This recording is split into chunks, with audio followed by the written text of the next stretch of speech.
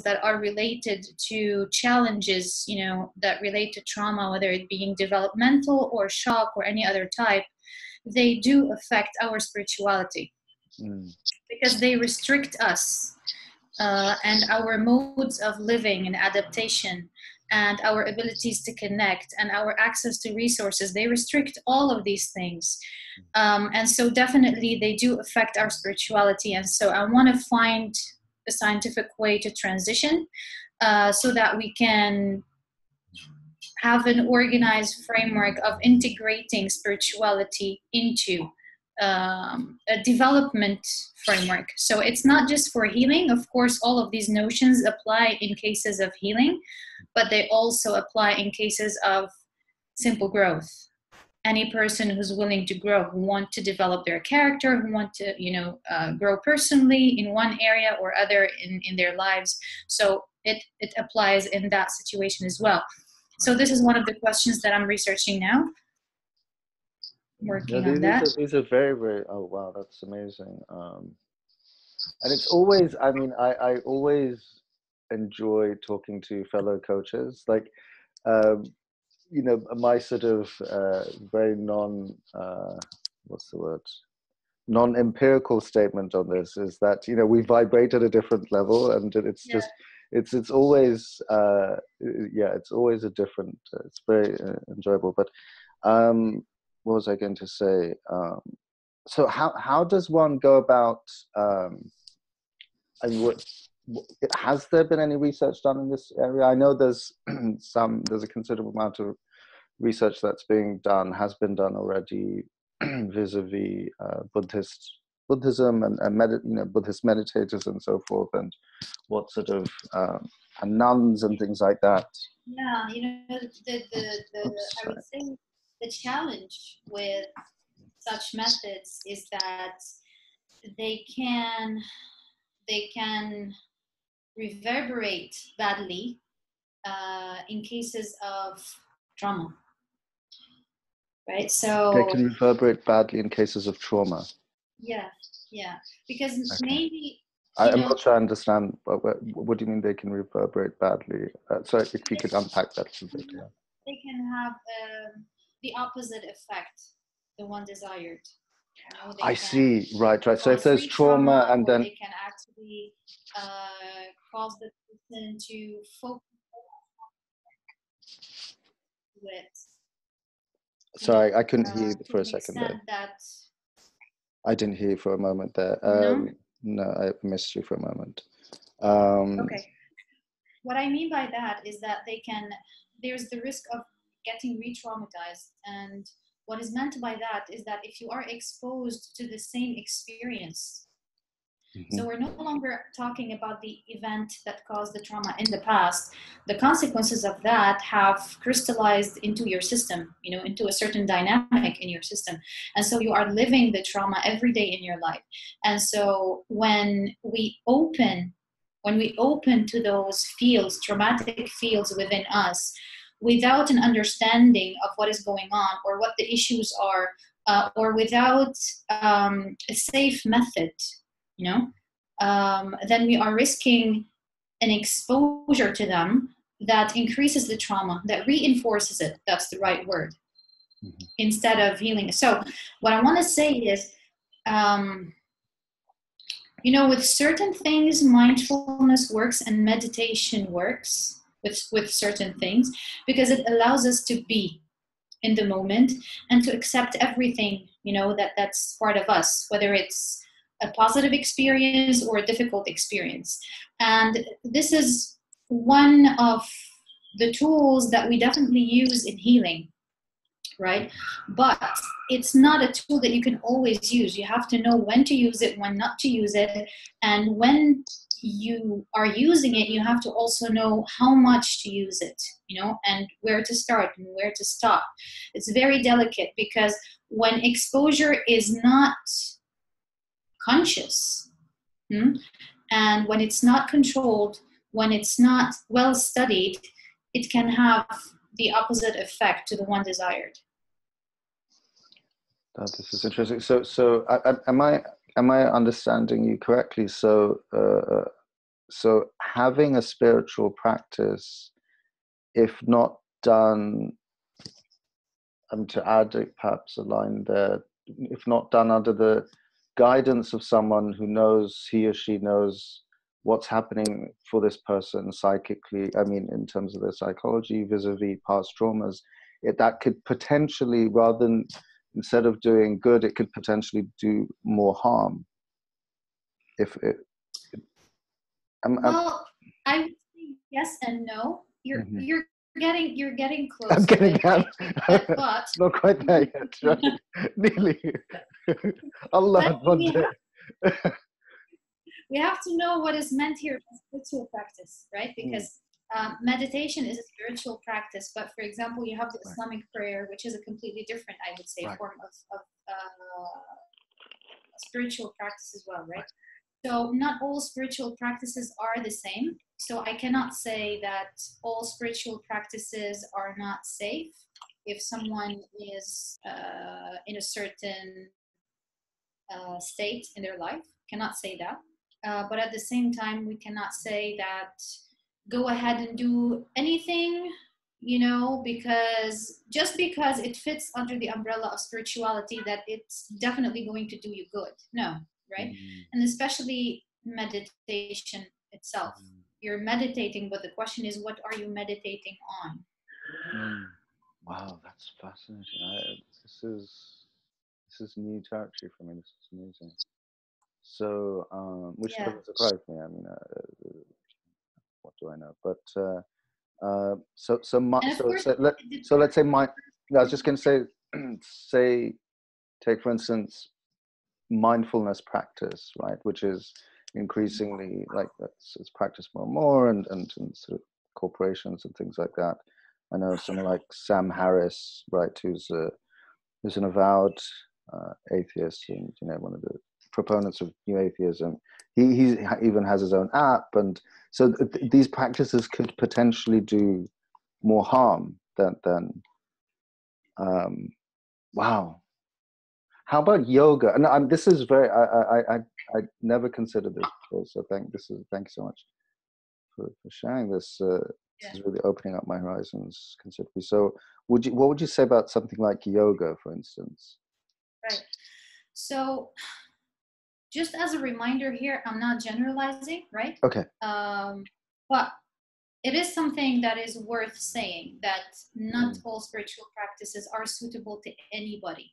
Um, mm. Um, for some people, they may work like a charm. For other people who are in a specific state or have specific needs, um, they mm. may not work, or they may even cause more damage. And yoga also applies. It mm. applies to yoga as well. Mm. Um, and uh, I have done research on on these uh, on these elements. They have been part of my research in the past three years, mm. um, both theoretical and experimental research. Mm-hmm. I'm sorry, someone's so, calling. Let me just hang up there. Uh, I apologize. One sec. Uh, I thought this so would happen. When it comes to yoga, mm-hmm. yes. Uh, when it comes to yoga, uh, mm, it's the deeper the deeper are the issue the deeper the issues the more ingrained they are you know um, the harder it is for yoga to be sufficient in mm-hmm. healing them mm-hmm. so if we take yoga as a healing tool right because many people do that mm-hmm. it depends again it depends so if you take some for example somebody who has complex trauma and uh, who has for example developmental trauma by which we mean trauma that uh, happened in the earlier stages of development, you know, when, hmm. when someone was a child. Um, and their basic needs, so the basic needs of a human being were not met properly, causing dysfunction in certain systems, you know, in, in, in, the, in the body. And so in such cases, it becomes harder for yoga to contribute um, to the healing and sometimes it can have a counter effect and again it depends of course, not just what type of yoga you are doing, because there are different types of yoga. There are types that are more aggressive than others. But then there's also the question is the person you are practicing with, your practitioner or your leader, um, do they have an understanding of your situation? And do they understand how to read the body from that vantage point, from the vantage point of trauma, right? Um, because sometimes what can happen is that you can be tapping through yoga into areas in the body that have been accumulating for so long and that have been stuck in a certain state for so long that once you tap into those, the body gets out of control. Right. Right. And some practitioners would tell you that's okay, that's a good sign. It's a sign Right, that your body right, is responding, Right. Right. which it can be. At the same time, it can be re traumatizing to the body. Why?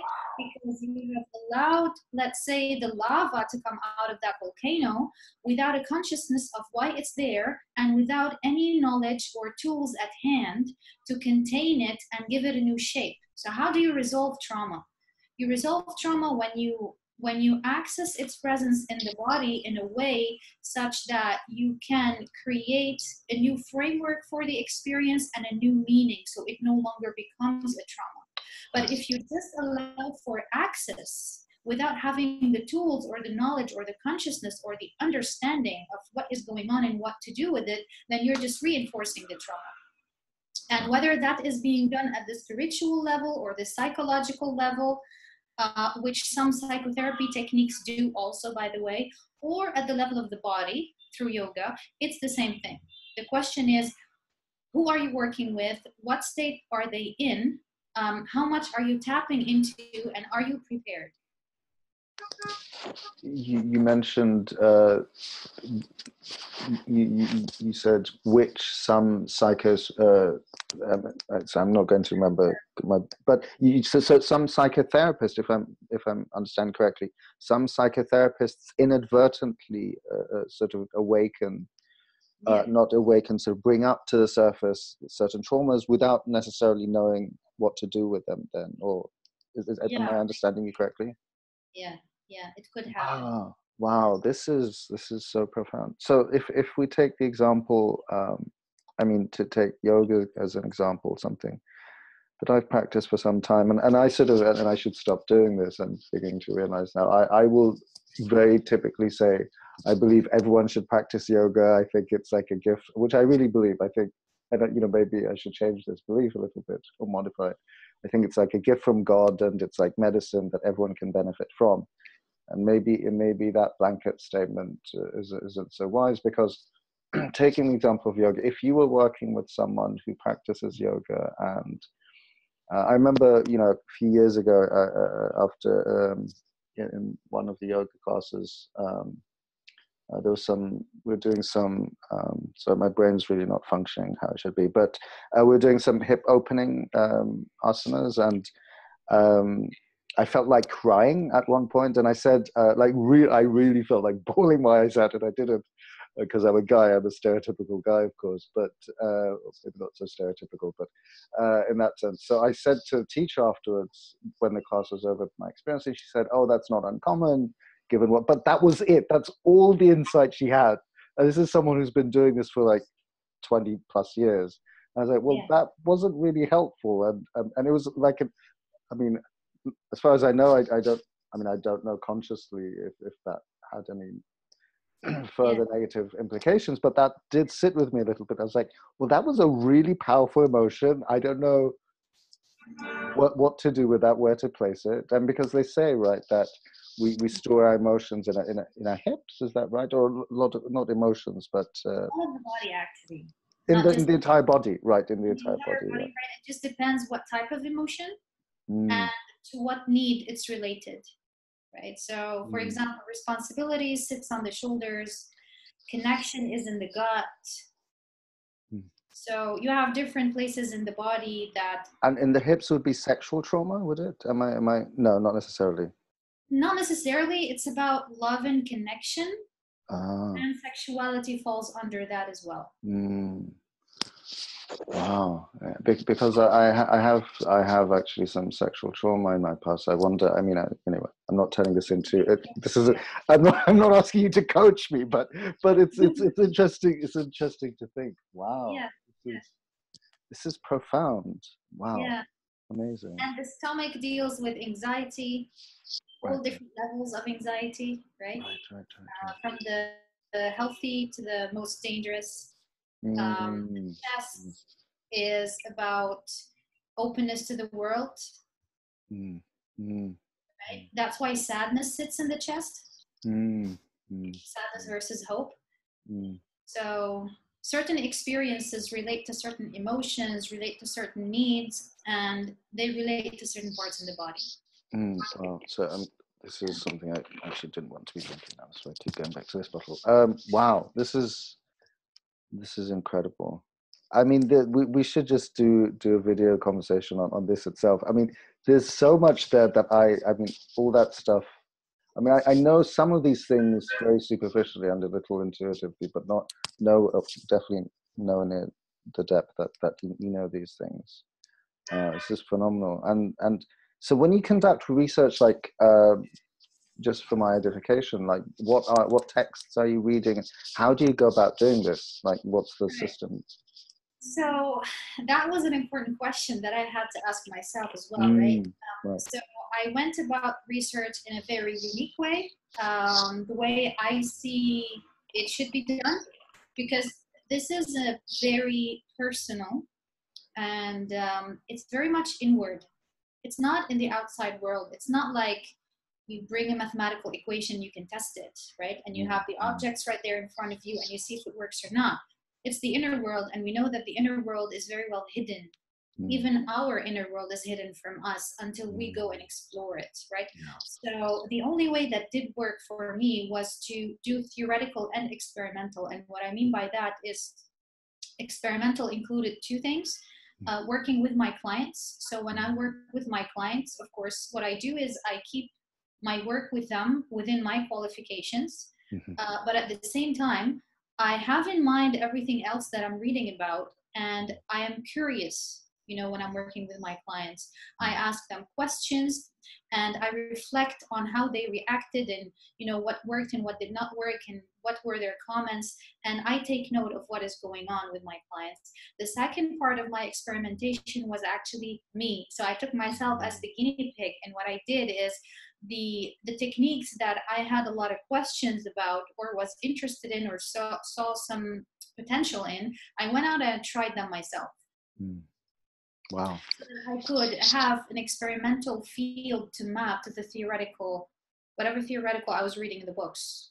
It's amazing. Wow, you're you're like uh, one of these traditional and these historic yogis. You know, they they did. Uh, this is amazing. Wow, I love it. Field. Otherwise, you yeah. don't really know what it means, right? See, yeah. that's.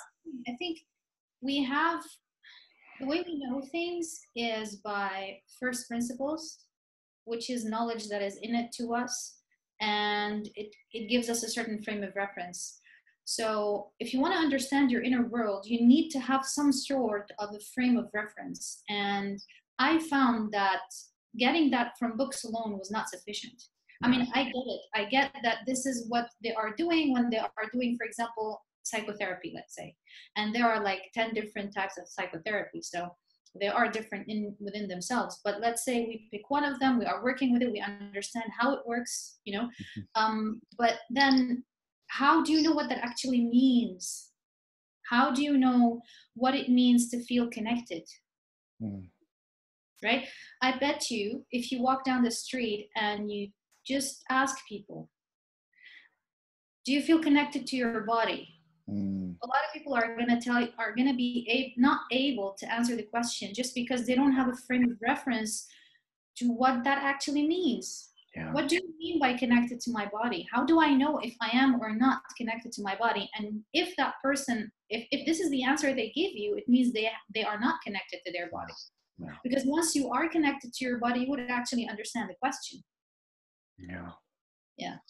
Well, this is very, very profound. Wow.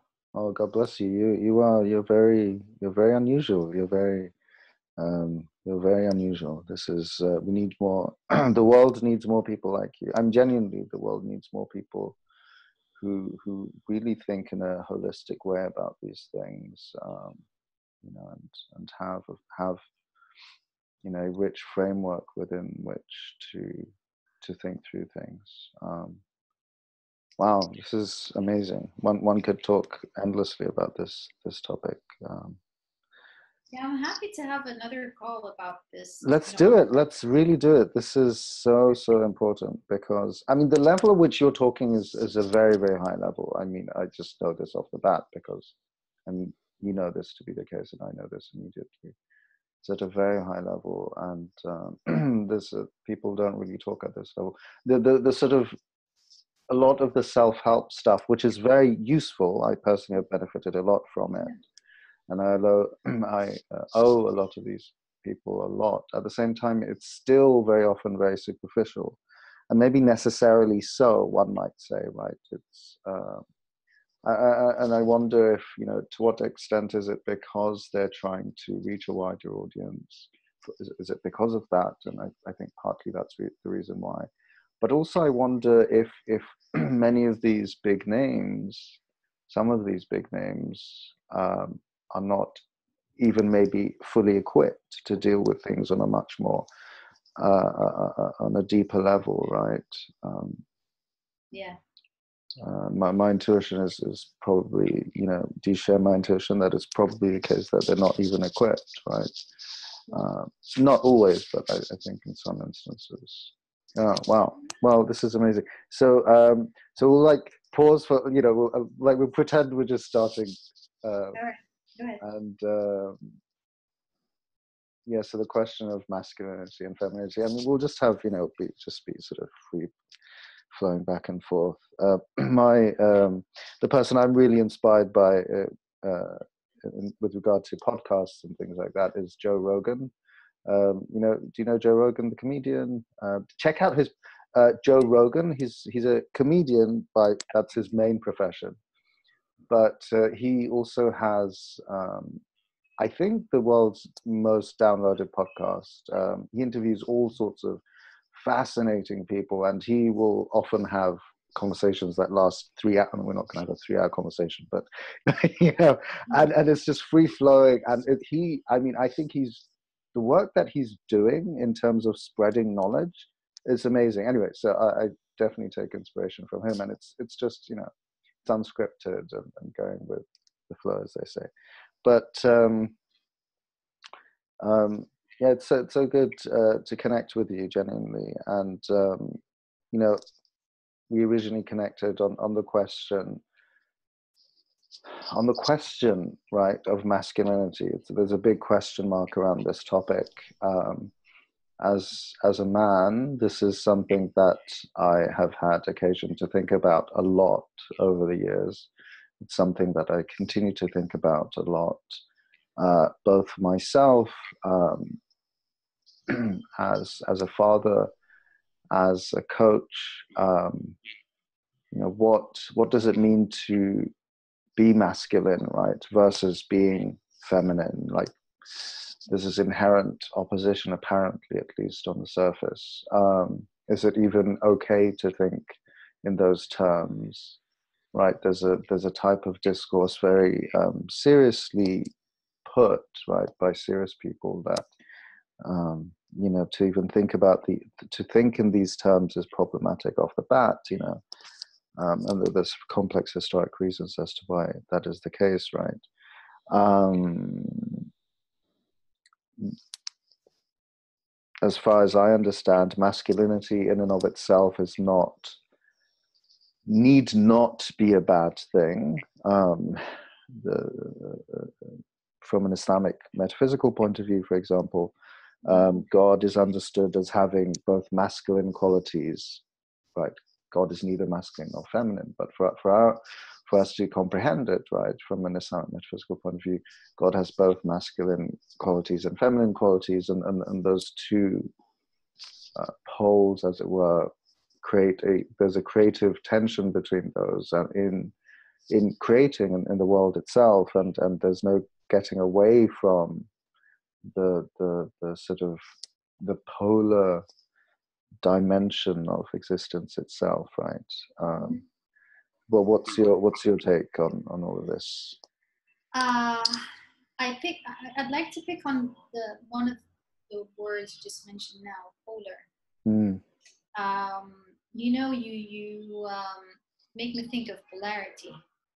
Which relates, in my opinion, to masculinity and femininity. Uh, back to the initial question of, well, does it actually exist? Right? That's the first mm. question. Mm. Is it a concept that was made up by the human mind to cope with things or to give meaning to certain things? Um, and if that's so, then if we find another framework for meaning, then do we still need the framework of masculinity and femininity? So basically, the, the first question is does it exist in and of itself? Or is and, it and, and, and to that point, also, some may and do very seriously argue well, this is all part of the patriarchal sort of uh, system to even think in these terms, right? It's because men have historically until now dominated uh, mm. the world and, and not least of all women. And it, this is just you know, a convenient way of structuring things so they can maintain their dominance, right? Right. But, you know, I find this argument to be self defeating uh, mm-hmm. because if you want to go back and study history and how you know in history uh, certain roles affected other roles in society mm-hmm. you are accepting the fact that you know, in older civilizations, masculine and feminine were never the same. And so, okay, let's say that it's even a question of nurture and not one of nature, right? Because that's the question you are tackling at the moment. So even if we do assume that that's the case, then let's ask ourselves, you know, so nurture, if there were no masculinity and femininity to begin with, mm-hmm. then on what basis did older civilizations nurture the masculine to be dominant and the feminine to be less dominant? Mm-hmm. There is a premise here, right? We have to ask ourselves so, where did this come from? Mm-hmm. Even if it's a question of nurture, why wasn't it the opposite? There's a certain pattern in history and it's the same pattern, it has been the same pattern across the globe. No matter how old or new the civilization is, it's always, there's always a pattern that the masculine was the one in the past linked to leadership, responsibility, and the feminine is was the one linked to, you know, less, let's say, less aggressive, I would say, uh, uh, responsibilities. Not that the woman didn't have responsibilities, but they were less aggressive. They were more inward than outward, right? Uh, because the societies back then were more integrated in nature, and so the man's work by nature had to be more aggressive. And so, why didn't the opposite happen? Well, so so so to that point, what you just uh, what you just pre- uh, presented, right? Um, a, a sort of uh, a liberal critique would be, right? And, and I'm not saying that I, I don't adopt this critique, but the, the, the liberal critique of what you just stated would be to say, well, there is no such thing as nature. It's all uh, these things are uh, these things are socially um, decided, right? And and they're sort of somewhat uh, uh um, they're, they're decided not because this is how things are it's because this is how we decide things will be and and there's a power dimension. And uh, uh, um, you know and, and it all goes down to power uh, it go, all goes back to power. And because men the, the, the biologically male what, uh, uh, of the species wanted to and continues to want to dominate therefore they, they, they talk in these terms. But yeah. um, so how would you respond to that um, Right. So um, my answer is twofold. The first point I would raise is um, if it was decided by somebody, right? Um, we know, even scientifically, we know that when a certain theory has a high has a high probability to be wrong or to fail, it's very easy to come up with counterexamples Right? As a matter of fact, you need like one counterexample to disprove a theory, like 100%. But what does this show us? It shows us that there is a certain order in nature in the universe, in the world, whether we're talking about people or or nature or whatever it is, there's a certain order that when something doesn't work, it doesn't live long. Mm-hmm. Right? When a system doesn't work, it doesn't live long. So I find it really uh, intriguing that this system of the masculine and the feminine, the way it has been defined in the past, it lived throughout all the civilizations that are documented that we have access to. Mm-hmm. So to come now and say they have all been like brainwashed or manipulated, or it's just because the first human being made a decision that this is going to be masculine, this is going to be feminine, it's just not logical. Because remember also that these civilizations were not connected like the world is today, right? They were separate. Sometimes they lived for thousands of years without having like uh, connection or without without having contact with each other depending if they were living on different continents and so still the same order applied everywhere and not only applied it survived. Mm-hmm.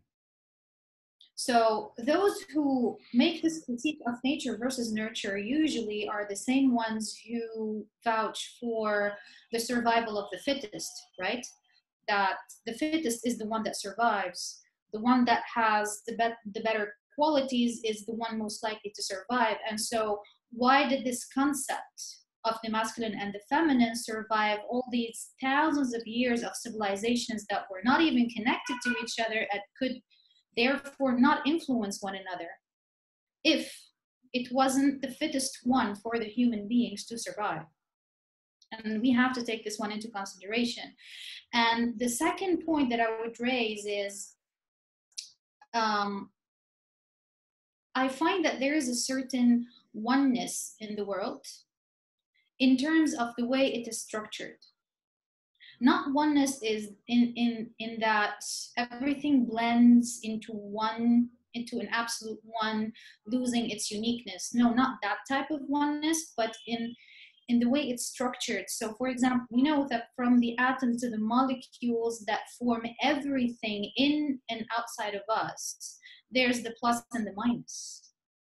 And they attract. And without this basic law, we would not have anything. Nothing would hold up, right?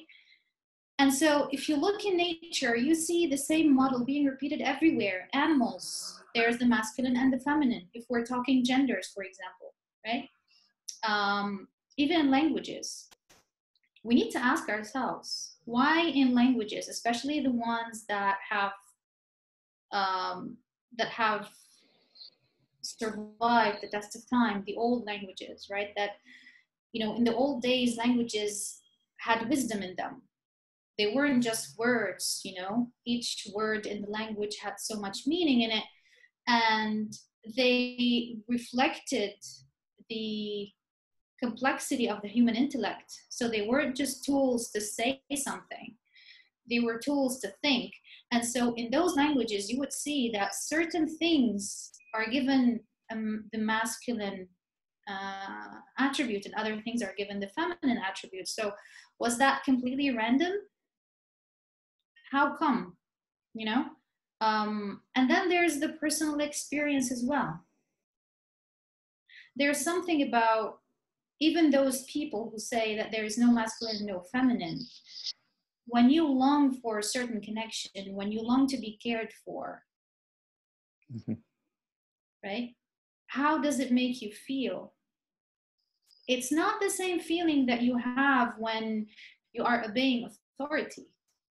It's a completely different experience inside yourself. Can, can you say a little bit more? Uh, can you um, unpack that a little bit? Um, I understand it. In, uh, understand it intuitively what you're saying. Uh-huh. Yeah. So um, I think experience, the realm of experience, is understudied and underestimated, scientifically speaking, right? Um, because we all know that if we don't see it, doesn't mean it doesn't exist.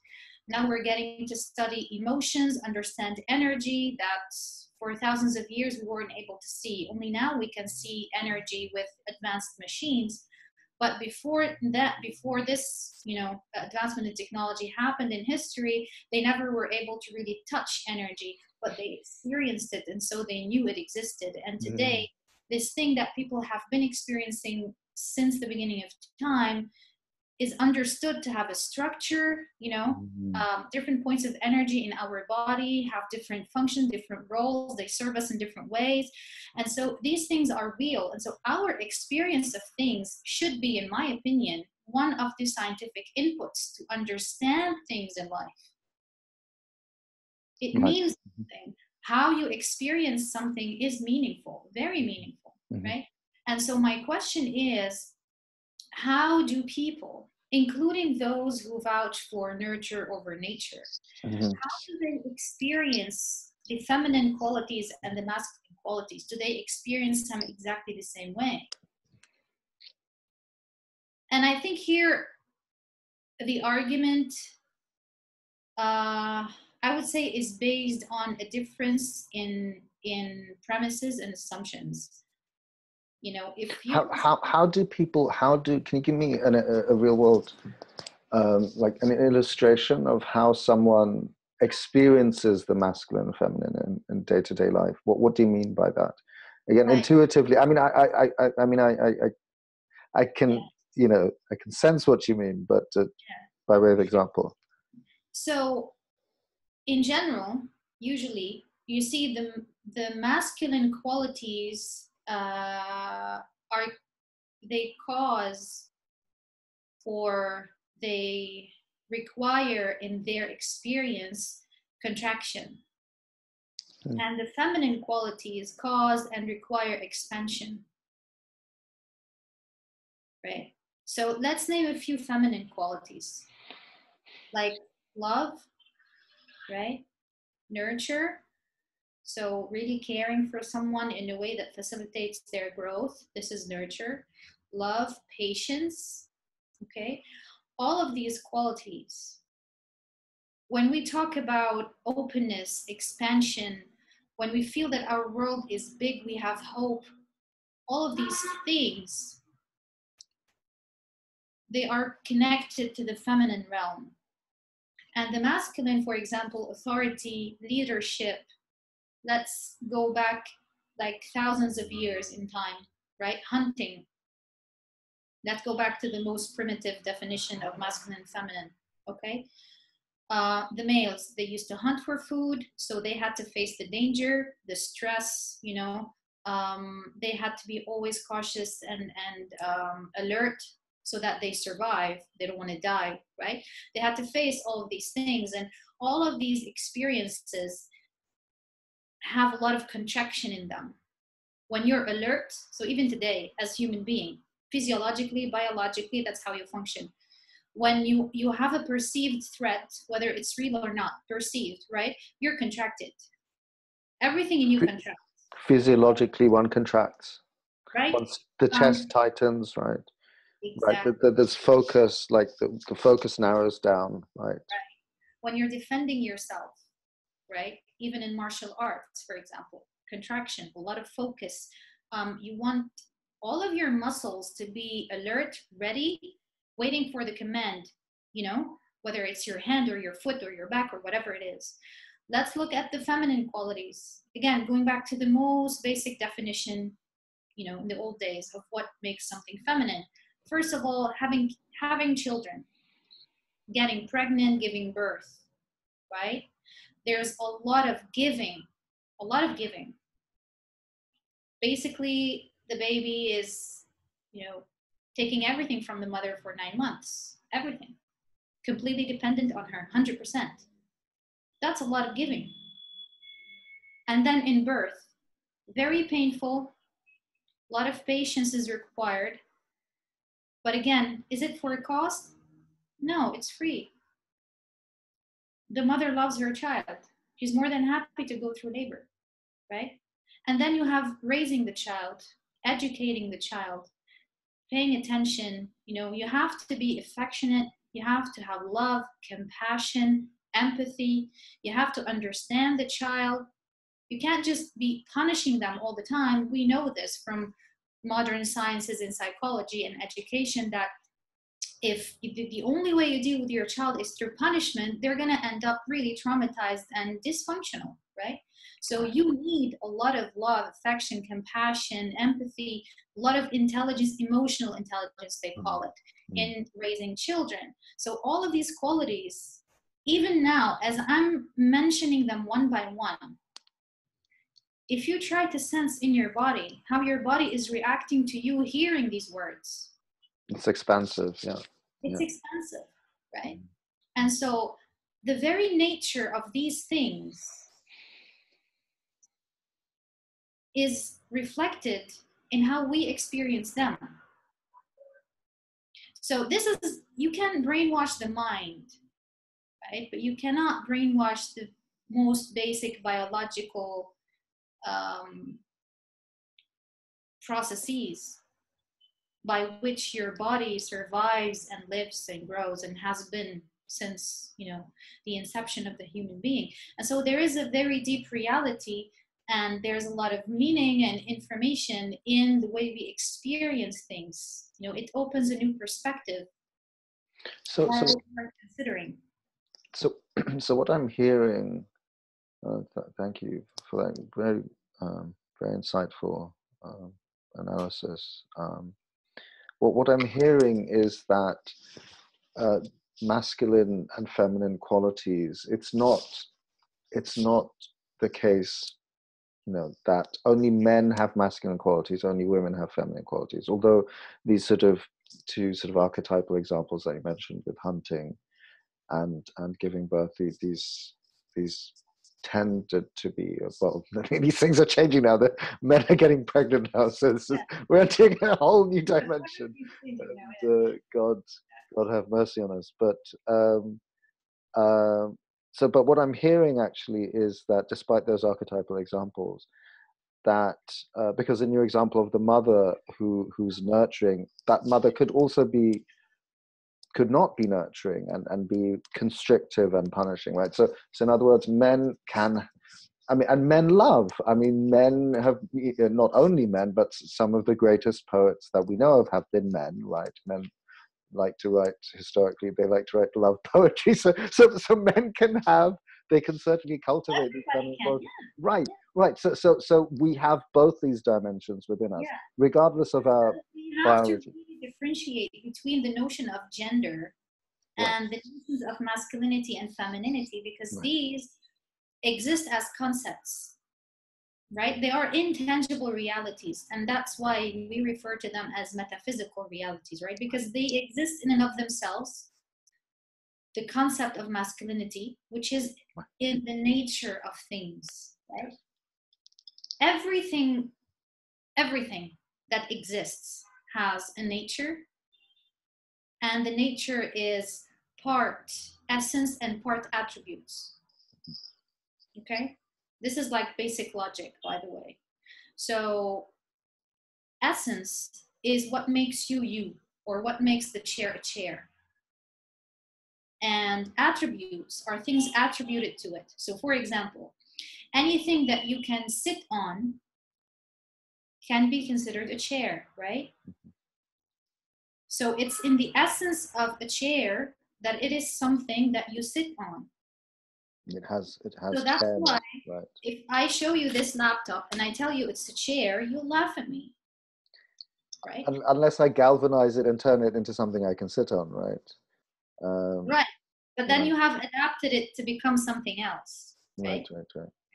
And so when it comes to the shape, the material, the color, the weight, all of these things, they are attributes.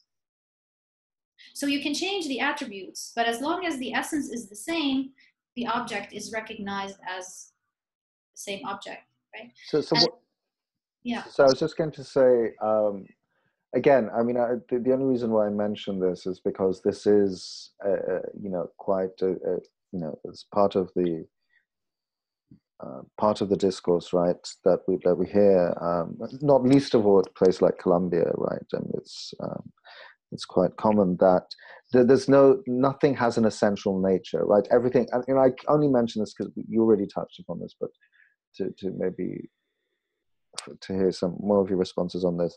That um, it's, however, you know, someone like Judith Butler, right, the, the philosopher and, and gender theorist, she'll say that, you know, even gender itself is socially constructed, and nothing nothing has an essential quality as such. It's just how how we use it by because of social convention. And someone like um, Jordan Peterson, who would probably be on the other end of the spectrum vis-a-vis Judith Butler, uh, would say, well, what you know, he doesn't accept that. You know, he he will speak in very similar terms that that you're enunciating. That we see uh, uh, uh, in terms of biology, right? Uh, in terms of, I mean, what may be classed as fundamental makeup, right? That, that, that there are certain things that are observable in science uh, through science. Now, and this discourse gets problematic a little bit because many people say, um, you know, science itself, it, it, it, it's questionable. Not everything is is objective per se. There's issues of power and, and things like that, and that's a, that's a whole other can of worms that I don't necessarily want to go into. But how how would you respond to someone like Judith Butler, um, who says again, you know, gen, gender gender in itself does not exist; it's a social construct. Right. Um, how how would he explain the biological differences? Um, so so she says that uh, I, I don't know Judith Butler well enough, but the little that I do know, she says that bio, um, the biological, I, I don't, that's, I think that's an important uh, question. And uh, this is where Jordan Peterson criticizes Judith Butler in yeah. saying that, I mean, she says that she I mean, this is the problem with postmodern theory, like taken to its nth degree, I mean, taken taken to its logical conclusion, which I think people like Judith Butler are doing, while you know, understand they're doing yeah. great work elsewhere. Um, they, they argue that even biology, as we understand it, I mean, so I guess what they're saying is science, but you know, biology being a part of modern science as such, um, is not separable from the sort of social uh, uh, framework within which it's imagined, and it's a it's a deeply uh, power riven world uh, wherein there are patriarchal sort of male dominated uh, tropes, and those male dominated tropes get read into into and through scientific uh, uh, uh observations themselves. Mm-hmm. I see I see the point that she tries to make, and I I agree with that point, right? That um, I think it's a fact that any branch of knowledge that is humanly constructed is to a certain degree reflecting mm-hmm. the intellectual framework that manufactured it, right? So, for example, um, if if and this is this is a common phenomenon by the way so i'm going to use it as an example i think i think a lot of people will be able to relate to it so for example you see in some families um, if um, if the child is a girl mm-hmm. and the parents wanted a boy some parents react to this by treating their child as a boy mm-hmm. what they understand right as a boy so for example for the father maybe having a boy is like having a friend he can take with him hunting for example and do like what we socially recognize as more boyish activities right mm-hmm. and so this is nurture right mm-hmm. um, she's a girl but she has been exposed to activities and things that usually in society boys tend to do more than girls. And so you see that in many cases, these girls develop a very strong personality um, and even it starts affecting their physiology. Oh, wow. How, right? how so? Not necessarily in a bad way. It just their physiology, the way they stand, the way they express themselves Mm-hmm. Um, it tends to have a lot in common with men's physiology. Wow. Mm. Right? Um, and these are all unconscious. Why? Because Mm. the way we feel, the activities that we do, all of these things they have an impact on us Mhm. as well, right? And so, for example, certain certain activities nurture certain qualities. So, hunting it nurtures qualities of courage. So, I'm not saying this in in any context, positive or negative, right? I'm just taking it as as it is. So, it nurtures qualities like courage, um, like um, sharp focus, right? Action. Um, playing with a doll nurtures qualities like, or skills like softness, creativity. So you see, focus, creativity. They're different qualities. So as a result, this girl is going to have a set of skills. It's going to affect the way her brain is wired. It's going to affect how she experiences life it may affect the hormones or other biological constructs in her body Mm. that over time will start showing in her physiology. Mm. Okay, so it's true that the science of biology itself cannot, and no science that is made by man can be completely uh, detached or separated from the context in which it is nurtured. Because let's remind ourselves what science actually is. And some people forget that. Science, by definition, is an organized body of knowledge that facilitates the development of new knowledge. This is what science is, right? So somebody has organized this knowledge and gathered it, and somebody is using it to build on it, right? And that somebody is people, and people have their own constructs, and therefore you cannot separate the two from each other. However, uh, this has limitations, so it's not absolute. Because there are certain things that are observable and have no exception. And for example, if we look at the physiological differences in gender, no one can deny that we have two sets. Mhm. And whether these two sets are found in one body or not, if somebody is transgender, for example, okay, whether they are found in one body or not, we recognize that they are a set, they are a pair, and they do different roles, right? So this is not something that you can argue out of existence. It's a fact, it exists. Okay? Now call it whatever you want. Call it gender, call it just organ, whatever you want to call it. There's a pair. And no one can deny that. And so the differences do exist. Even if you flip it, right? Even if you call me a man and you call you a woman, which is now the cognitive construct of things, right? It's five o'clock. It doesn't change the fact that you look different from how I look physiologically. Call me whatever you want and call you whatever you want, right? We are different. There's a difference. And so, even if we do agree, and I do agree, that biology, like any science, is to a certain degree affected by the context. It doesn't mean that we have an argument to deny the existence of pairs. Almost everything exists in pair, right? Even morally, everything exists in pairs.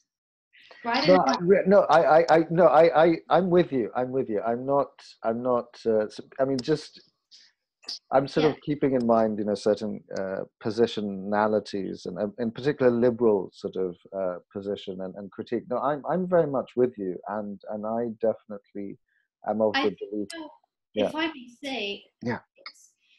there's a confusion that maybe is not well uh, accounted for in these discussions. Mhm. Sometimes we confuse concepts, and if the concepts are themselves confused, then we're starting the argument with the wrong premise, and it's not going to lead anywhere. So the first question I would ask her if I were to have a conversation with her would be, um, what do you understand by gender right? And what do you understand by masculinity slash femininity um, and once these are identified then we can go on with the argument because if you are confusing the two then you will have the tendency to strongly reject the notion of gender mm-hmm. so if gender includes all the notions of masculinity which define the roles right? Which then define dignity and freedom in certain cultural contexts. If all of these are packaged in one notion, which is gender, yeah, you know, that makes a good argument to reject the notion of gender. So let's go back and define what gender is. And if we separate gender as a biological fact from the social construct from the intangible concepts of masculine and feminine, then I don't see a lot of room for confusion because you can have a lot of combinations, right? You can have the male gender being very feminine and vice versa. And so all of these, they exist. No, you're right. And, and, and not to sort of go on and on about this, I'd like to sort of um, uh, continue from this, but I'll, I'll, I'll just sort of mention that um, so Judith Butler is influenced by Michel Foucault, and Michel. Foucault, whom I, I, I, I personally have benefited tremendously from in my own sort of understanding of things. But any case, a, a major contribution that Michel Foucault does is uh, one of his major contributions is to say, is to point to the the sort of complex factors in society in, in any given historical period, which gives rise to certain, uh, you know, sort of realities, what we see as realities, which he significantly mm, problematizes and says, you know, reality, you know, is as we think of is is so significantly shaped by the circumstances that the reality in and of itself ceases to have so much of a of an objective quality to it.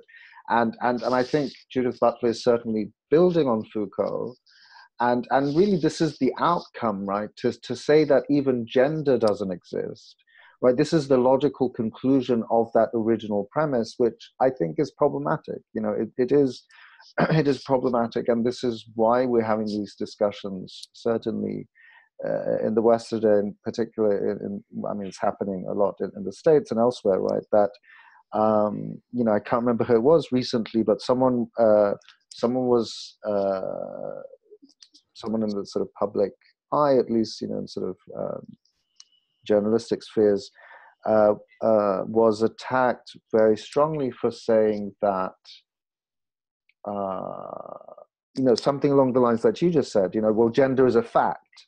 And they said well no it's not a fact. So now so this is anyway we don't have to dwell on this. I, I, mean i'm on the same page as you but this is the outcome of that that so we start to have no facts anymore. And and then so then and then and this is the sort of this is how these things start to play out on the world stage right and, and I, I i'm really neither on the left nor on the right i mean i i, I don't take any sort of political I mean, I, I think uh, life is too complicated to say that one belongs to one camp versus another.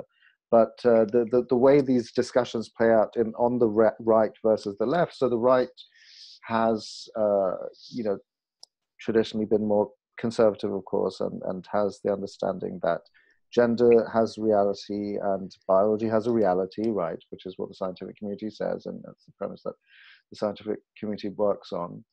And and it the right will assign certain traditional, shall we say, roles to the different genders, right? The the two genders, the male, the male and the female.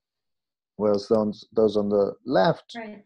you know, that they have the the opposite take that these things are fluid and. Uh, but but what I'm hearing from you is that, that there is the possibility of having fluidity. Excuse me. Uh, while in while also understanding that gender is real, right? That the male and the female, these are the two genders through which the world even comes into into being, right? From a deeply metaphysical point of view, right? Uh, this is how life comes into the world for the vast majority of organisms.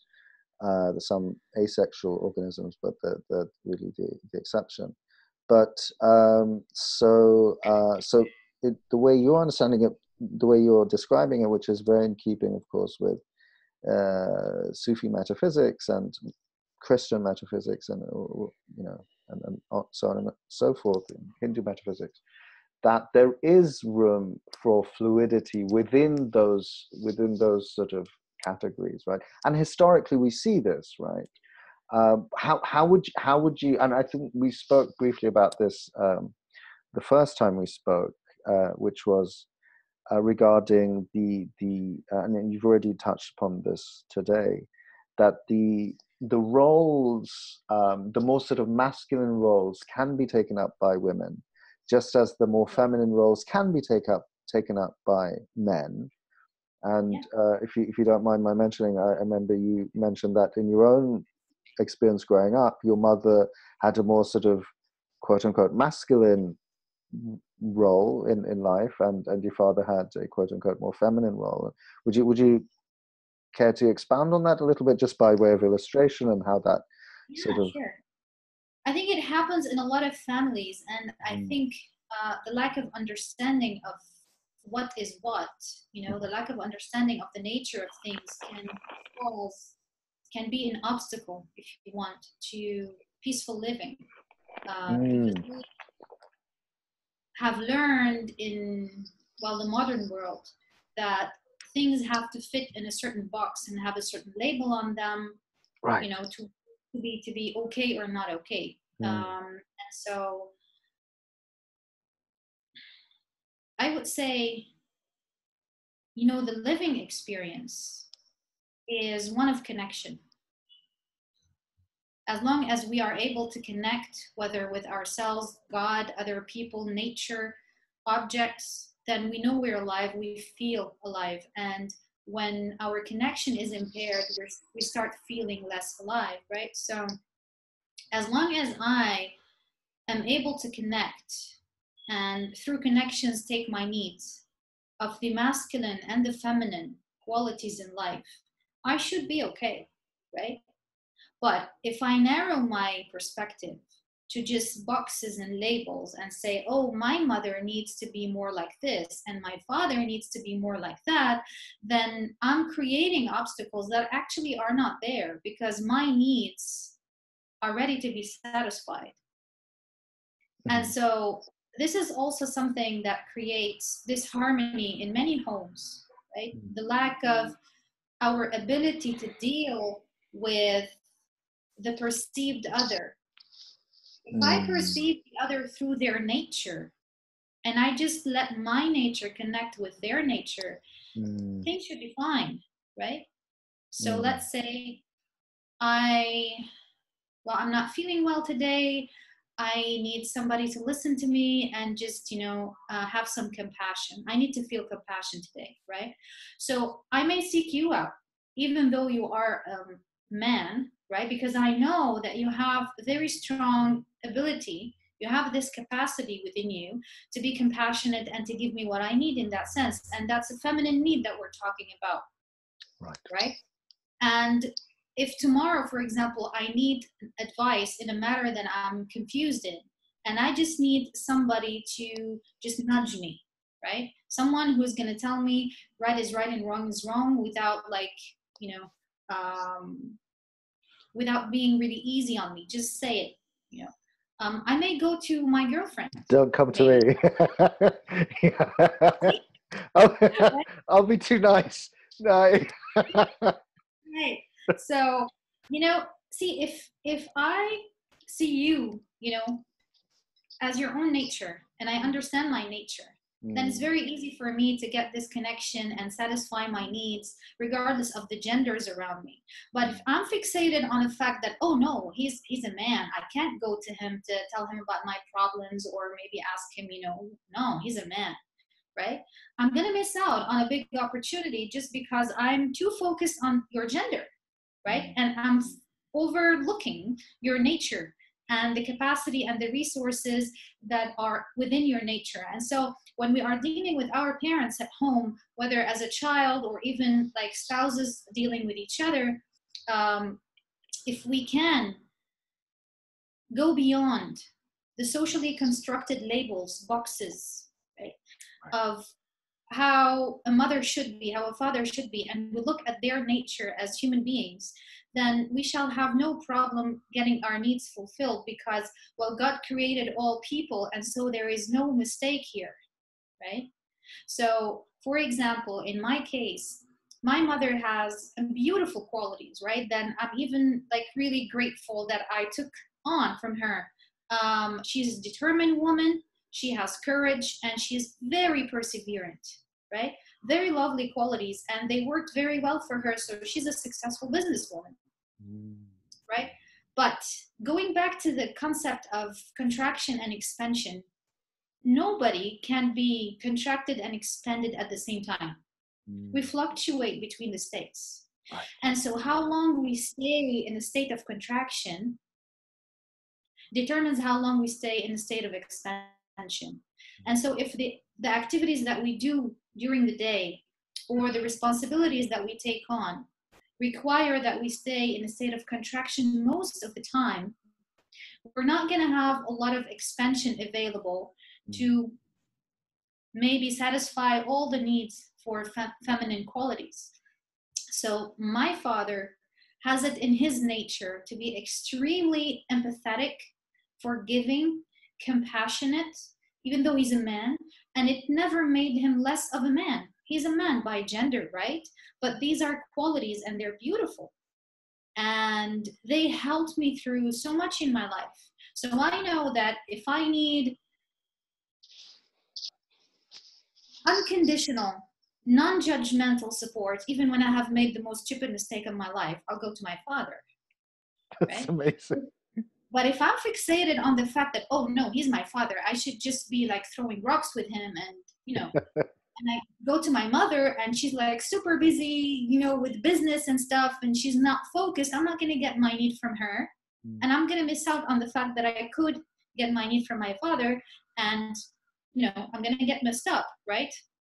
So this is this is a real example and a lot of families have this dynamic right because not everything is you know the same and and and men are different and when they come together in marriage they create a different and very unique dynamic at home and so mm. understanding the concepts of masculinity and femininity mm. regardless of the body they sit in appreciating those as resources mm. and what they can give us you know helps us have a more fluid since you used that word right mm-hmm. helps us have a more fluid relation with everything around us mm. i don't know if i've answered your question but no you have no that's that's that's brilliant um the the question of polarity that uh, we've touched on you you've already discussed um I mean, to, to think a little bit about that. So, um, someone we both uh, I mean, certainly in my case, that's someone I really look up to, and I know. I mean, if if we're coaches, we can't get away from Tony Robbins, right? I mean, he is he is he is the the, the greatest sheikh in that in that regard, as far as I can tell. Um, so he talks about polarity, right? And he he he derives from David Deida, uh, who uh, who writes a lot about this. David Deida wrote uh, book, The Way of the Superior Man, and uh, you know so Tony Robbins says that in order for there to be attraction in a re- relationship, there has to be polarity, right?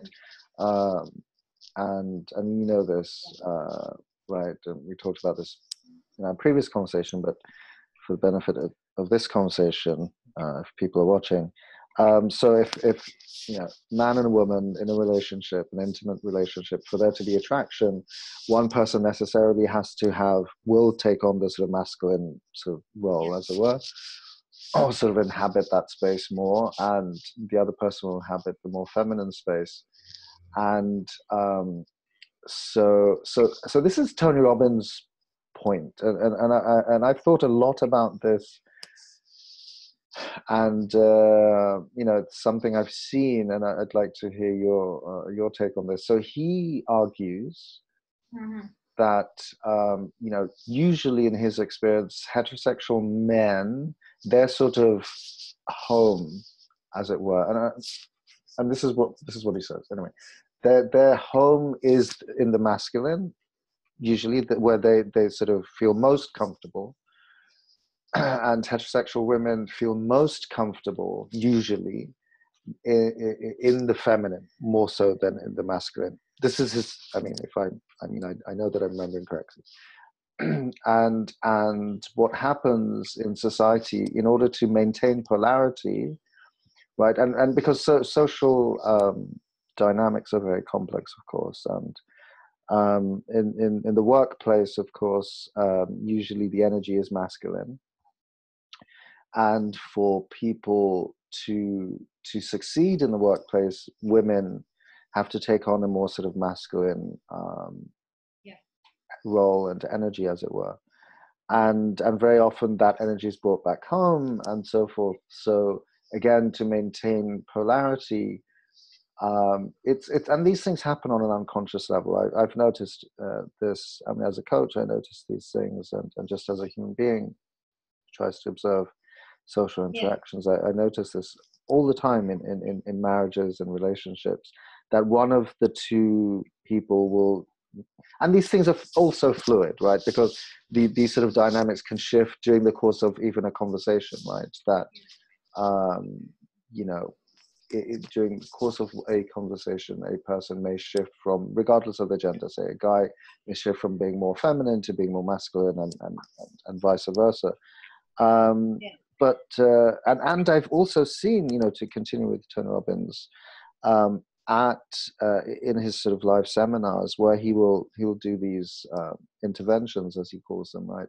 And he'll take a couple that is struggling, right, and uh, and he will sort of he will, and it's very obvious, you know, to the audience that the woman uh, is very it's not an uncommon problem, shall we say, that the woman is more in her masculine, the man is more in his feminine, and there's tension as a result. Because at the same time, the woman wants the man to man up, right? And and so so that that like that space has to be created, uh, or uh, uh, that space has to be allowed for. Uh, mm. right so that the so i don't know what's your take on, on all of this you know these things are very complex things, right? They are very complex. That was going to be my first comment, actually. Yeah. I'll try to make it as simple as possible. Um, but you know, if you allow me, before I get mm-hmm. into this, I just want to, I just want to comment on something you said, which I yeah. find very interesting and yet very ironic.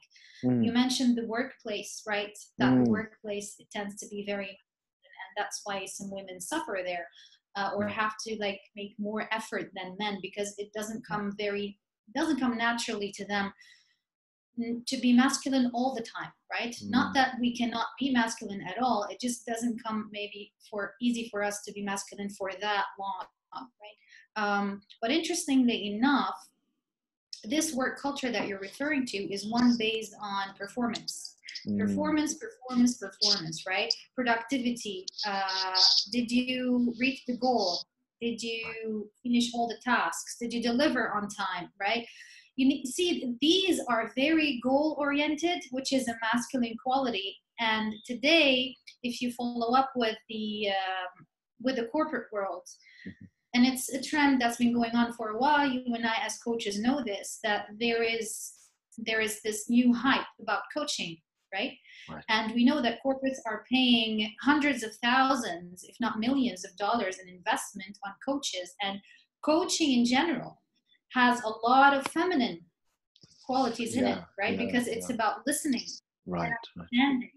Right. And so today they're talking about, there's a lot of talk in the workplace um, and in the corporate world about connecting to the human being and seeing beyond their ability to perform, you know, what motivates them, what makes them tick, what makes them happy at work, right?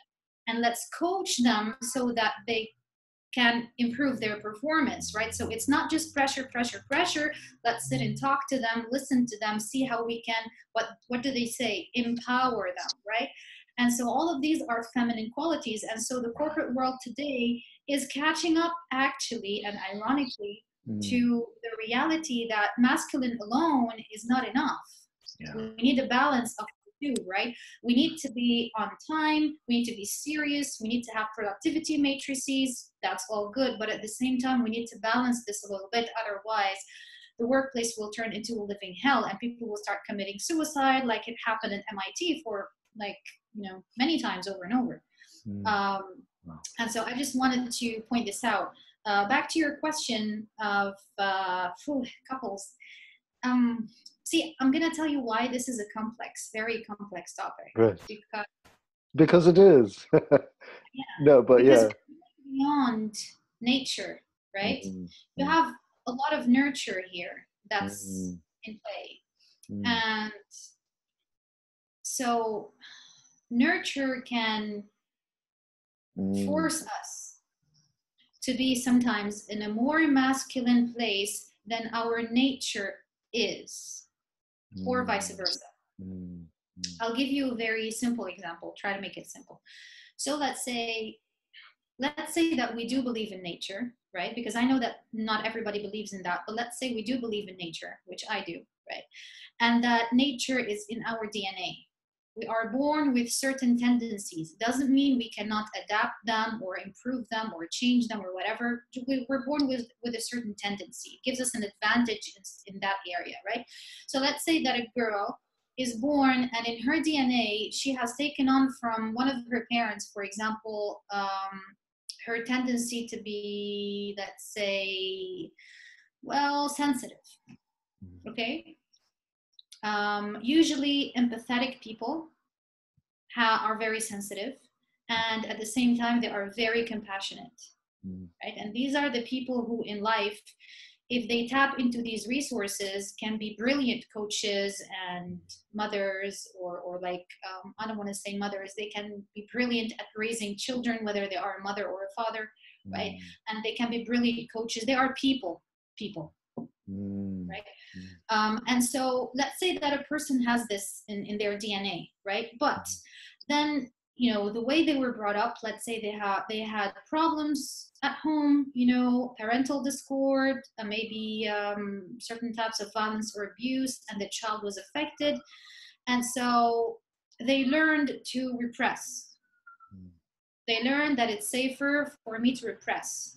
Now, if you understand these concepts, you would know that, you know, for the more emotional the person is, the more sensitive they are, the harder it is for them to repress. Mm-hmm. Because these people tend to express themselves and tend to give mostly in the form of relations, you know, connection. Connection is their strong point, is their stronghold.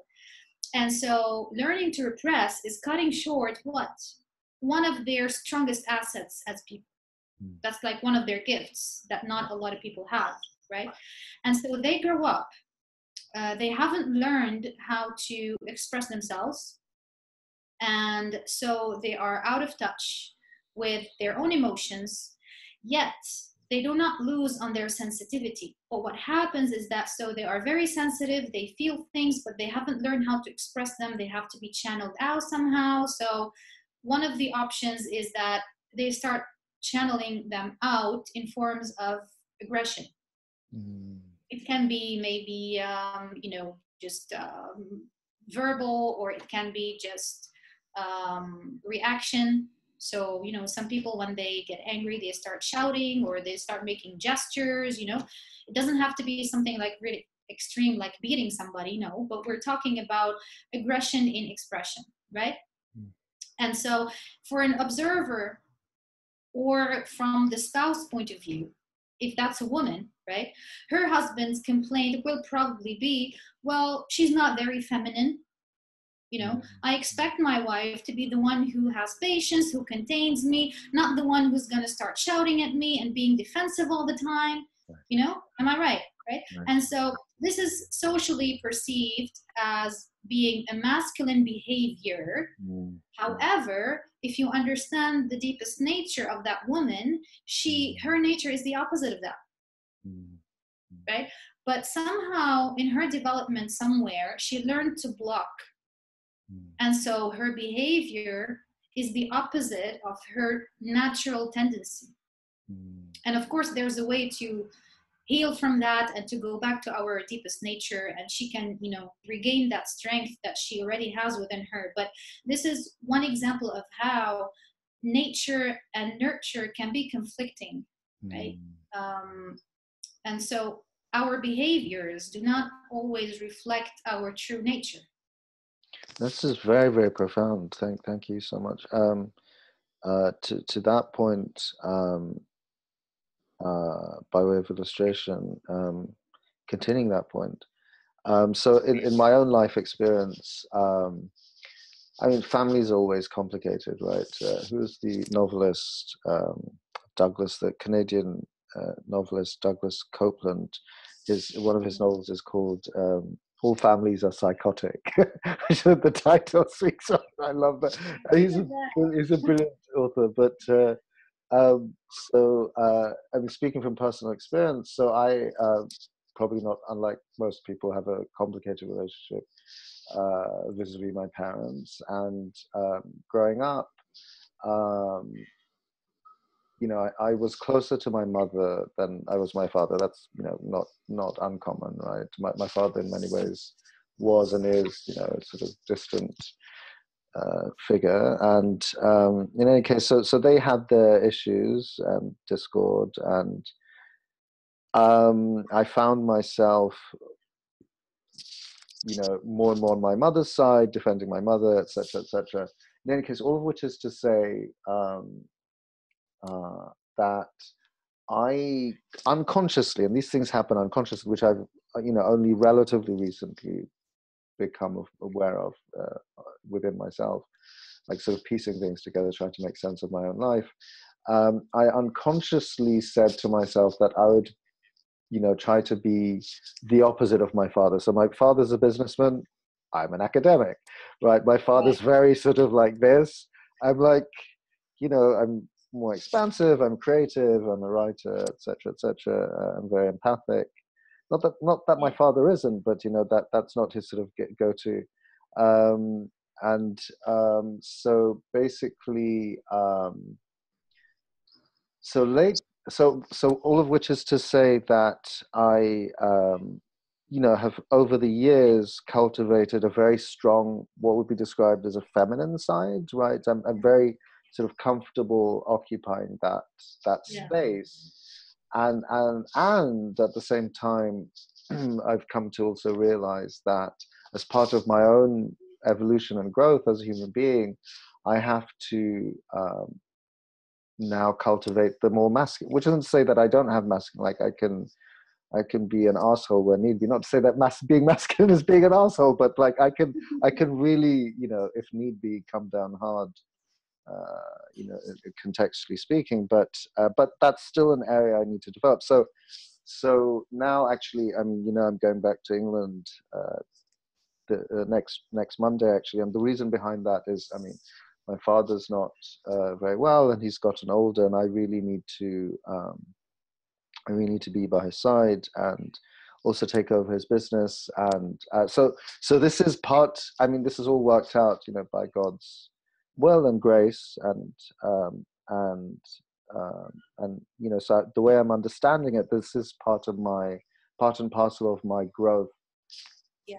Um, and growing into that masculine dimension more. So um, anyway that that was i uh, that was all to you know i mentioned all that to you know echo what you just said about sort of family one's sort of past in a very real way priming one or sort of uh, sort of creating these tendencies. But um, but it's an ongoing thing. It's an ongoing process. And um, i think i also mentioned to you before um, given okay so so and, and th- these are ongoing i mean these are thoughts i have a lot and i'm still trying to i'm still you know i think one is always learning right? One always seeks to better oneself and expand one's horizons. Um, you know, also historically in my own life, um, I, given my, I think, again, if we take Tony Robbins' point to heart, that you know, attraction is about polarity, then um, you know, uh, in order for there to be attraction, I have historically been attracted to and have attracted more masculine, uh, more quote unquote masculine women. So, so, so that's that doesn't surprise me. And it's like, okay, but I want to, I want to occupy a more sort of masculine space in my own life. So, so anyway, I'm not asking you to coach me, but you know, that's just an observation. It's, it's, it's, it's a fascinating thing to notice yeah. in one's own life. Yeah, and I, I think the the fact that humans tend to do that is actually proof that masculinity and femininity do exist. Because right. we would not be on the lookout we would not be seeking things unless they exist right? right, and so we seek them because they create in us or in our life a feeling of balance. Right. Right? And so usually to have balance it's implied that you have polarity right right because what are we balancing right, out right right right, right. yeah right. and so we are constantly seeking balance in our life everywhere right mm. they talk about work life balance you talk about well, balance in in your behavior you know balance in your impulses Right. This is where wisdom comes in, right? The ultimate balance, the ability to balance mm. is part of wisdom. And so, because balance exists mm. Mm. as something that we seek out and something we experience, it means that the polarities do exist. Mm. And without them, there would be no notion of balance, which comes in between the two. And so, that's why we tend to seek, you know, whatever creates this balance in mm. our life right oh, and uh, yeah.